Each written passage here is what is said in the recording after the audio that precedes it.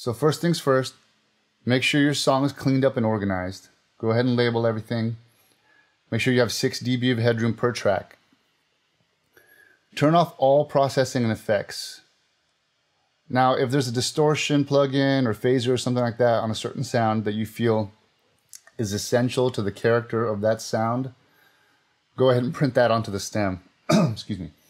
But don't have everything compressed like crazy and pushed because that's not going to give us a whole lot of room to work with when it's time to mix. Have your reverbs and delays on return tracks and try not to have those on individual tracks. Then just send us the print of the return tracks. If you have any kind of parallel processing, you're going to want to print the final result to one track and send that to us. So here's how you do that.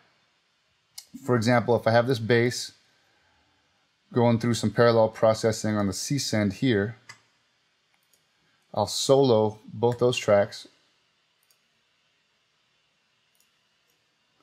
create an audio track,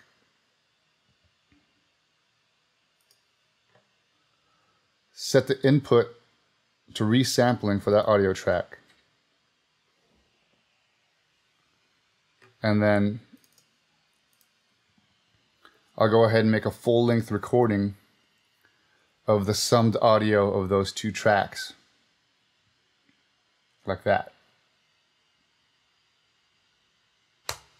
So, that's just an example there.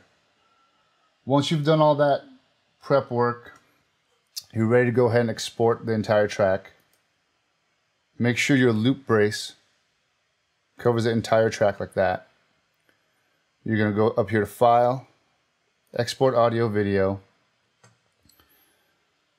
For rendered tracks, select All Tracks.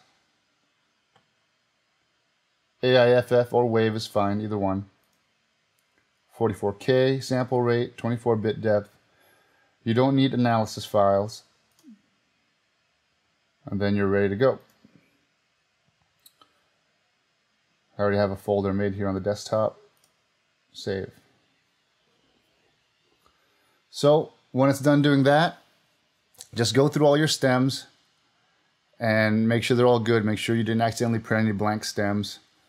Uh, when it comes to the the files that you had to bounce down to one, such as the the bass with the parallel processing here, um, go ahead and just send us the summed audio, the final result. You don't need to send us the, the bass and the, the parallel re return. And that's that. Here's the stems here, labeled nicely, ready to go.